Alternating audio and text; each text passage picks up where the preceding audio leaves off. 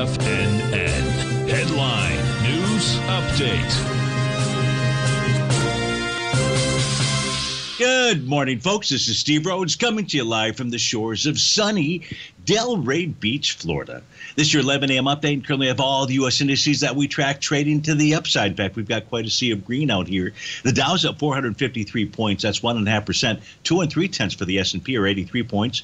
Two and eight tenths for the Nasdaq 100. 305 points. Two and a half for the Russell. One and six tenths for the semi. That's 35 points to the upside. Gold's up 18 dollars, a little over one percent. Silver's up over three percent, or 56 pennies. She's trading out at 1863. Light sweet crude is trading out at 86.25. Natural gas is off 49 cents, and a 30 Treasury is up nine ticks. Let's go take a look at our nine panel market update chart. As we begin, we look in the upper left hand corner. We've got the ES Mini.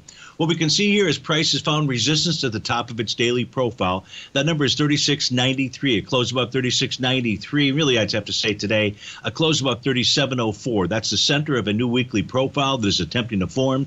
So a close above 37.04 should take price to the 38.38 area. Now, it's going to be a struggle with that spot volatility being above its 50 day exponential moving average. The spot VIX is at 31.23 and the 50 days at 28.12. But as long as that spot VIX continues to move slower, uh, lower out there, then we should see an ES mini that moves higher. The NQ trading between a trading range that's established by its daily market profiles. That's uh, support at 10.733 and resistance at 10.232. If you look at the U.S. dollar index, a new weekly profile that is attempting to form.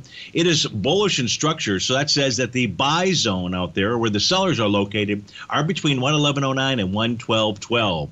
Goldilocks consolidating with inside its daily profile, support being 1645 and resistance being 1680.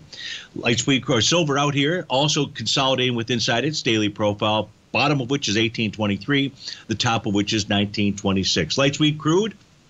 We've got the December contract up. It is trading right now below the bottom of its daily profile. So it closed today below 85.35 is going to suggest that we could see a run back to the 79 67 area. Natural gas is uh, negating a buy the D point pattern. That buy the D point pattern formed out here on the trading day of October the 4th.